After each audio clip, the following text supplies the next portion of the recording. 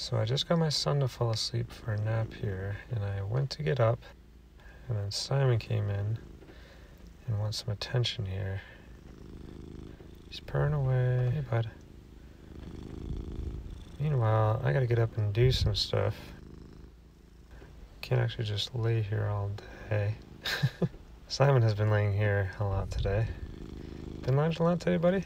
Is it alright if Dad gets up? Can I get up, bud? okay, but I'll stay here.